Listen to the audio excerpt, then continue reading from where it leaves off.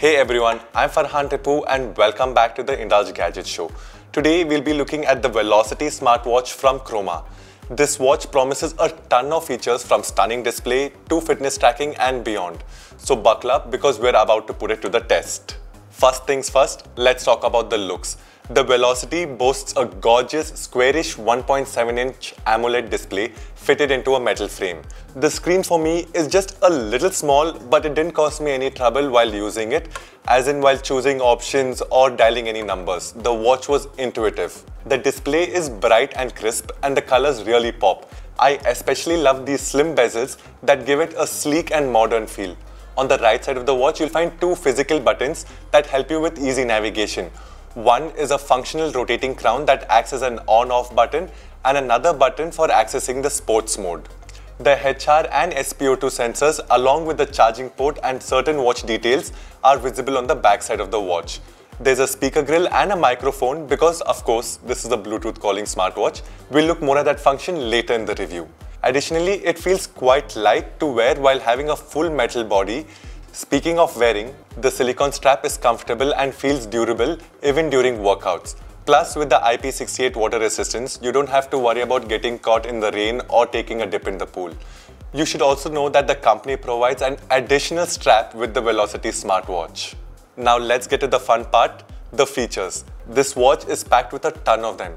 You've got over 100 plus sports modes to track your every move from running and cycling to yoga and swimming. And if you're into customizing your look, you'll be happy to know that the Velocity has tons of do-it-yourself watch faces.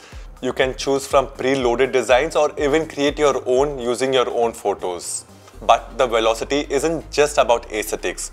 Just like any other smartwatch, it also takes care of your health with built-in heart rate and SpO2 monitoring.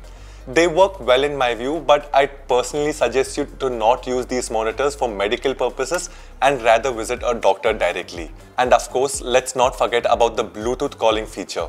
Answer calls, reject them, and even make calls directly from your wrist. Here is a sound test. So this is how my voice sounds when I'm using the Velocity smartwatch to speak through. Let me know what you think about it in the comment section below. Coming to the UI performance of the watch, you can swipe down to see the quick access center which gives you options of D&D, brightness control, flashlight, settings, etc. You can swipe up to get notifications of your cell where you can check your recent messages and call notifications. You can swipe right to get quick access to your activities, sleep monitor, HR, SPO2, weather, music player and camera shutter. And you swipe left to check out the entire menu of the watch. Overall, the UI of the watch is smooth and I have no complaints here. I was expecting to see some lag while swiping through the screen, but I'm very happy that I did not find any. Now, all these amazing features need juice, right? The Velocity delivers a battery life that lasts up to 5 days on a single charge. Pretty decent and okay for the price point. Overall, I am satisfied with the Croma smartwatch. It's stylish, packed with features and surprisingly affordable.